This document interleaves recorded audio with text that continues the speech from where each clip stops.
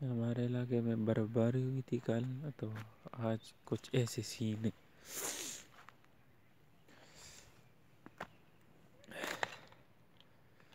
कुछ ऐसे सीन है, कुछ ऐसे।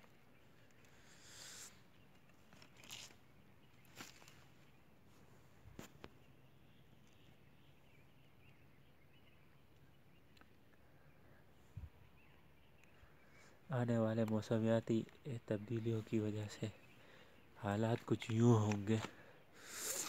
बर्फ़ पड़ेगी और सर्दी मज़ीद होगी।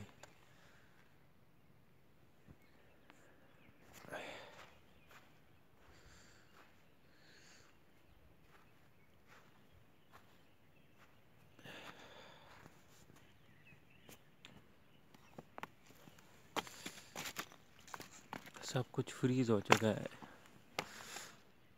आप अंदाज़ा लगाए कितनी रात को टेम्परेचर बहुत ज़्यादा था। देखिए आप।